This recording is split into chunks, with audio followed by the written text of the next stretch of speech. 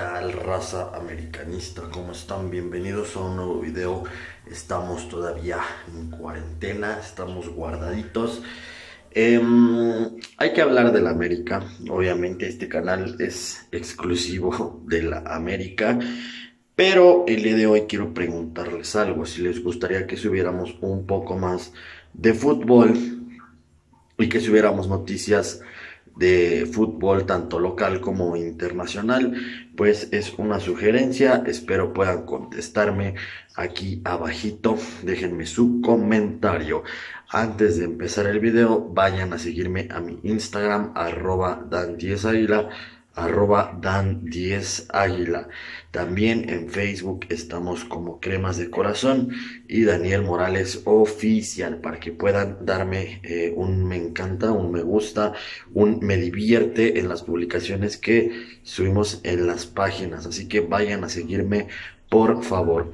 Bueno, el tema de hoy es muy, eh, ¿cómo decirlo? No es tan serio, por así decirlo. ¿Por qué? Porque de lo que vamos a hablar hay un 40% de probabilidad de que se pueda cumplir y el 60% de que no. O sea, obviamente es más probabilidad de que no suceda, pero tenemos que dar la nota, tenemos que compartirles la información y se trata de lo siguiente. Pues resulta que en redes sociales han estado muchos aficionados del América pidiendo que ahora que empiece el, fichaje, el mercado de fichajes, América irá por un delantero. Y hay uno que han estado mencionando mucho y que los americanistas están como que presionando en, redes sociales a la directiva eh, y ya saben que, el dueño Azcárraga, como ahora con lo de Roger, que estaba, estaban todos chingue chingue en sus redes y en las redes del Club América, de que eh, así que casi liberan a Roger, déjenlo jugar. ¿Y qué hizo Roger? No ha hecho absolutamente nada. Yo estaba en contra de que se le dejara jugar, pero bueno, em, lo que piden ahora y exigen, porque eso es lo que he estado viendo, quieren que América contrate, sí, a Zlatan Ibrahimovic, el gigante sueco que milita ahora en el Milan, pero la situación en Italia sabemos que está muy mal por esto del virus y se ha rumorado mucho que Zlatan va a salir del Milan y que sí tiene todavía algunas ofertas de algunos equipos e incluso tiene ofertas de la MLS y también tendría una oferta del América supuestamente. Y esto se desencadenó también.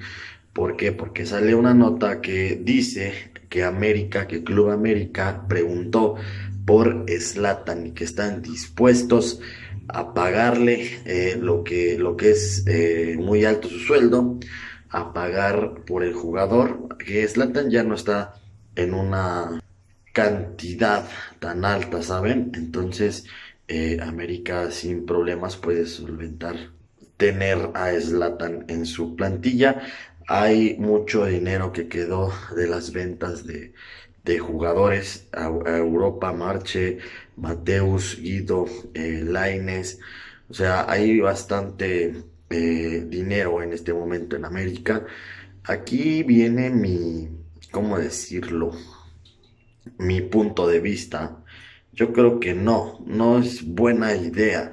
En mercadotecnia sí es muy, es muy, este, eh, es un bombazo, ¿no? En, mercadotecnia, cuántas playeras no se van a vender por Slatan, pero en lo futbolístico es un jugador que creo ya dio lo que tenía que dar y a lo mejor aquí en México es menor el nivel, se adapta rápido, hace muchos goles pero yo creo que Zlatan sería para una, dos temporadas máximo y América después necesitará un delantero joven. Entonces, no entiendo por qué la necesidad de muchos de querer un bombazo cuando en los últimos años se ha demostrado que las bombas que ha traído América no han servido para nada. Menés, Castillo, y son dos de los últimos, ¿eh? O sea, hay, hay muchos que, que han llegado con un cartel grande y que no terminan por cuajar en el equipo, ¿saben? Entonces, pues ahí les dejo la información. espero que les guste este video. Estamos en cuarentena. Em, comenten aquí abajo qué les parece la idea de, de Zlatan en el América. Y nos vemos al ratito en otro video porque en la tarde tengo un video nuevo para ustedes.